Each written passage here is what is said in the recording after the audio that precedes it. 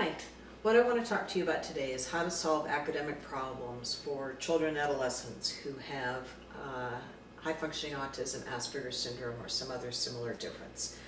Uh, it's really critical to address this for uh, these children and adolescents so that they can be more successful in school and so that they can have a happy home life because the first thing I want to address is how to deal with homework. I know so many parents of uh, kids on the spectrum who are spending hours every single night trying to get them through all their work. And I don't think that's helpful for the child or for the parents, and certainly not for their relationship.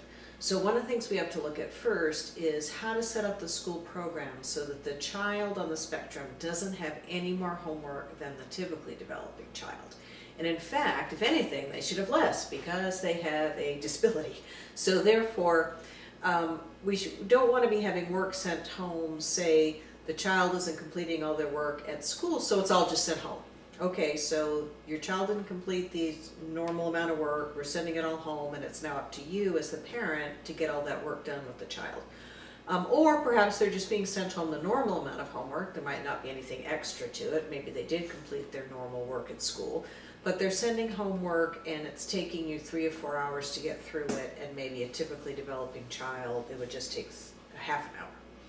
So something needs to change. And one of the things that I want to look at is um, reducing the amount of work. So for instance I once heard the expression of Asperger time which means half the amount of work and twice the amount of time. And that often happens because we're talking about children who have significant executive functioning problems. And, and so we don't want to then say, um, give them the exact same amount of work as everybody else. So perhaps they could get graded on the quality of work they do for a reduced number of assignments. Um, a simple way to think of this would be doing every other math problem or every third math problem or maybe every fourth math problem. And and the work needs to be adapted to the way their minds work. So kids on the spectrum are really uh, much better with things like facts and figures, fill in the blank, short answer questions, and not so great at writing an essay about the meaning of, say, the Civil War, or summarizing, um, you know, the main point of a certain book. But they might be better at giving um, several facts and figures out of the book that would be able to demonstrate that they actually read it and got some knowledge out of it. Uh, so we want to work closely with the teachers at the school and the child's IEP or 504 plan so that the um, quantity of work is the same or less than other children their age are doing after school. And some kids actually really need to have it be so that they're doing almost no homework at home because they have such a strong, rigid division in their mind between work and school. Sorry, I mean between uh, uh, home and school. Uh, so that we want to uh, realize that that again is part of how they see the world. That isn't something that's that easy to change. And so uh, they really might need to have their school day set up so that uh, they've got some period of time um, at school to do their work. A lot of kids at junior high and high school level might get a certain kind of study skills class, which is in a sense a form of a study hall where they have time to do their homework and they might get some assistance from a teacher who's helping them stay on track during that time. And then by the end of the school day, they don't have anything extra they have to bring home, or maybe just something quite minimal um, that won't cause so much of a problem. Uh, so I think that is probably the most important thing to address, especially for those families who are spending hours every day trying to get their child through uh, their homework. Uh, another thing that needs to happen is, again, it's a reflection of the executive functioning problems, is we need to find a way to help the kids stay organized. Now, oftentimes by mid to late elementary school, teachers are starting to put more of this onto each individual student. So although a first or second grader might be getting a lot of help from their teacher about what they need to remember to bring home and did they bring it back and getting things turned in, by the time kids are in late elementary, the teachers are turning that over more to the child. But this might not work for an autism spectrum child, so they might still need some assistance at the end of the day, making sure they bring home everything that they need to bring home. And then um, when they return to school, they might need help making sure that all of the work that they have brought back with them, if they did indeed have homework, um, actually does get turned in and at the right place. Um, and we also want to be helping the child learn a routine for keeping track of their work that they can continue to use throughout their life. So a lot of kids are going to be going out to college or the workplace, and so we don't want to utilize a system that always requires a lot of teacher and parent help. But it might be a system that teachers and parents could help the child learn, and then they could eventually become independent with that strategy. So for instance, an example of this would be an app on a uh, iPod touch, for instance. Now, again, this is something that works best for kids who do have access to that kind of technology, but you could also use a paper and pencil planner for someone who maybe doesn't, or who would be so likely to lose it or damage it that it wouldn't be worth getting it for them.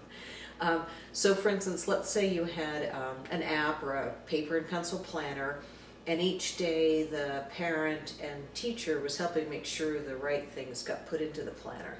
And you might even include personal appointments that the child has, um, certain regularly scheduled events throughout the week, because those kinds of things, again, as an adult, um, that person will be needing to keep track of those things. And they also need to be looking at their schedule of, you know, when do I go to this activity and when do I go to that activity when they're planning their homework uh, strategy. Uh, so if a parent and a teacher is helping on a daily basis put all those things into the planner or into the app and then helping the child plan, okay, on Tuesday I'm going to do more homework um, or work on this longer term project, but I'm not going to do it on Wednesday because Wednesday is when I have my horseback riding lesson and I don't have time. Uh, then over the time as the child is moving from late elementary school into junior high into high school and then later college into the young adult years, they could be developing a strategy that they need then less and less assistance to help them with. So they become independent with that strategy over time. But in sixth grade, the parent is still helping make sure every day, okay, what is it you have to do? Is it entered into your planner? Is it entered into your app? But by the time someone's in college, they'll have been doing it every day for all those years and they would be used to um, putting it into their own um, app. Uh, an app that can sync with a computer, again, for those people who have that kind of technology is really going to be great because that's something that, you know, more and more people are organizing themselves in that manner. It's not as common now to do it on um, just a paper and pencil planner. Uh, another thing that is really important about schoolwork is to have any assignment that is a big project, like a book report, so which involves reading the book, uh, figuring out what's going to be in the report, like so maybe making some kind of outline, um, doing the different pieces of the outline, maybe writing a first draft and then a final draft, or a a science fair project that involves researching different types of science fair projects and then designing an experiment and then doing the experiment and collecting the data and then writing some kind of report and making a visual of it. You know, there's a lot of different steps on this and so because of these executive functioning difficulties, most autism spectrum kids um, are going to have a lot of trouble with those kinds of projects. Um, and they're not going to be estimating accurately how much work is involved sometimes they would underestimate it and then just try to do it all the night before, or sometimes they overestimate it and basically gets overwhelmed. They just don't even do it because they imagine it's going to be so horrible that they can't even, you know, think of tackling it. So they really need someone to help them break it down into chunks. Um, and do each chunk at a time and schedule that out on their app or in their planner. Okay, today I'm going to, you know, read up on different types of science fair projects and pick one that I'm going to do. Uh, because just as you had probably experienced as a parent of an autism spectrum child, you would know that, uh, for instance, the instruction of go and clean your room is often overwhelming because there's so many different tasks that have to be done to clean one's room typically that it gets overwhelming. It needs to be broken down into all the different steps of the task and that can be really helpful. Um, so it's uh, very important to think about how to break down big assignments into small chunks that get done over a period of time, and almost always with support from a parent and a teacher, you know, most likely.